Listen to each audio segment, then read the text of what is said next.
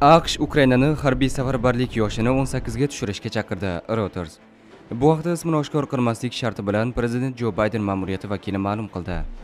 Ukraina urushga yetarlicha odamlarni safarbarlik qilmayapti va shuning uchun ham hozir donbassda chekinmoqda bizga ko'proq insoniy resurslar kerak. Ruslar oldinga siljib sharqda barqaror muvaffaqiyatga erishmoqda.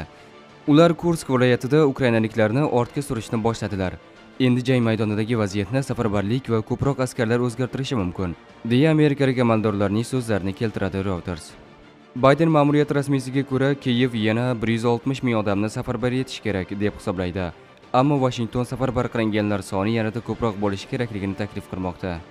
Rossiya armiyasiga qarshi turish uchun aqshning ukrainaga piyodalarga qarshi minalarni yetkazib berish haqidagi qarori bunday minalarni taqiqlovchi ottava konvensiyasini imzolagan davlatlar tomonidan keskin tanqid qilindi. Kambodjada bo'lib o'tgan konferensiyada imzo chekkan davlatlar qo'shma shtatlar minalar yetkazib berishga ruxsat berib 1997 yildagi shartnomani buzayotganini aytishdi. Konvensiya kuchga kirganidan keyin 25 yil davomida gumanitar qurolsizlanish bo'yicha ushbu tarixiy shartnoma hech qachon uning yaxlitligi uchun bunday muammoga duch kelmagan deyiladi bayonotda keyt kellog aqshning ukraina va rossiya bo'yicha maxsus vakili etib tayinlanadi. Kellogning ushbu lavozimga tayinlanishini donald trampning o'zi e'lon qildi. Keyt kellog trampning birinchi prezidentlik muddati davomida allaqachon aqsh prezidentining milliy xavfsizlik bo'yicha maslahatchisi vazifasida faoliyat yuritgan. Rossiya ukrainaga uchuvchisiz samolyotlar va kalibr raketalari bilan zarbalar berdi. Rossiya ukrainaga katta hujum boshladi. Bu haqda union agentligi xabar bermoqda. Ma'lum qilinishicha uchuvchisiz samolyotlar uchirilgan 7 ta tu 95 me strategik bombardimonchi samolyoti tongga yaqin osmonga ko'tarilgan. Soat 5:03 da kalibrlar qora dengizdan uchirildi. Ukraina energetika vaziri german garishenko mamlakat energetika sektori hujum ostida ekanini aytdi. Unga ko'ra energetika obyektlariga hujumlar butun ukraina bo'ylab sodir bo'lmoqda. Ukraina harbiylari rossiya bilan mojaro boshi berk ko'chaga kirib qolgan va uni faqat muzokaralar yo'li bilan bartaraf etish mumkin deb hisoblaydi. Bu fikrni donbassga safaridan so'ng germaniyaning bild gazetasi bosh muharriri o'rinbosari paul ronshaymer bildirdi. Shaxsiy fikrimcha urush boshi berk ko'chaga kirib qoldi. Oxirgi 3-4 oy ichida biz chekirishga majbur bo'ldik. Ruslar tezligini oshirmoqda. Mojaroni davom ettirish uchun ularda resurslar bor. Ularda odamlar bor va ular bizdan ko'p. Biz bu urushni tugatishimiz kerak.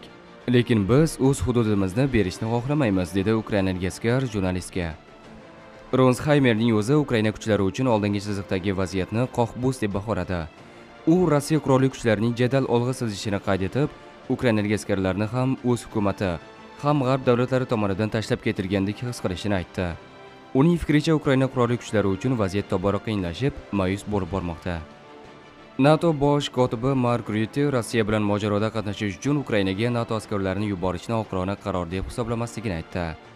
Uning so'zlaridan so'ng fox news iqtibos keltirmoqda.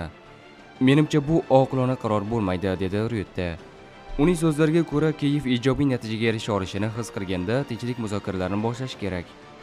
Ayni paytda ukraina noqulay ahvolda dedi nato bosh kotibi. Bir kun avval ukrainaning sobiq tashqi ishlar vaziri dmitriy kuleba g'arbning o'tgan yildagi eng katta xatosi makronning respublika hududiga qo'shin kiritish rejasini qoralaganini aytdi.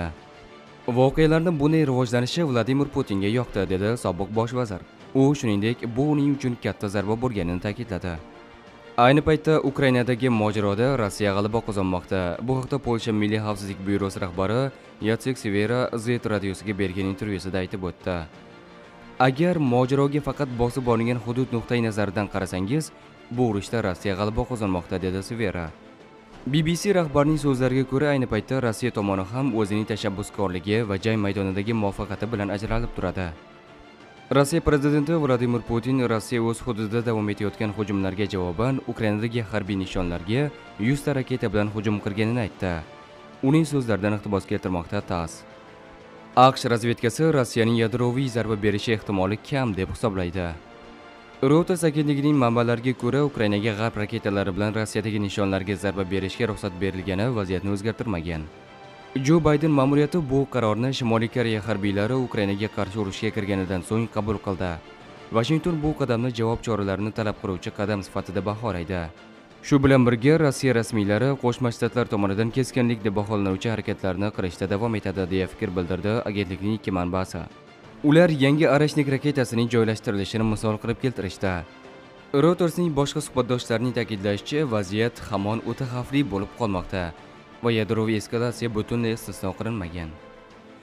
Bundan tashqari amerika razvedkasi rossiya rasmiylari kiyevni qo'llab quvvatlashni susaytirish uchun yevropadagi nishonlarga qarshi sabotaj kampaniyasini kuchaytirishga harakat qiladi deb hisoblaydi. Areshnik juda katta zarar yetkazadi. Rossiyaning o'rta masofaga uchuvchi ballistik raketasi areshnik yevropa qit'asidagi mojarolarda qo'llangan eng uzoq masofali qurolga aylandi. Bu haqda g'arb harbiy tahlilchilariga tayanib the new york times xabar berdi. Aqshning middlberi xalqaro tadqiqotlar instituti yadro tarqalishini oldini olish dasturi direktori jeffri luisga ko'ra ukrainadagi yujmash raketa zavodiga arashnik zarbasi ukraina kuchlariga jiddiy zarar yetkazgan Washingtonning strategik va xalqaro tadqiqotlar markazi raketaga qarshi mudofaa dasturi rahbari professor Tom Karaka fikricha, arishlik juda katta zarar yetkazadi. Chunki uning bo'linuvchi jangovar qismlari nihoyatda yuqori tezlikda harakat qiladi. Bundan tashqari, bunday jangovar kalliklarni havo hujumidan mudofaa tizimlari bilan to'xtatib qolish deyarli imkonsiz.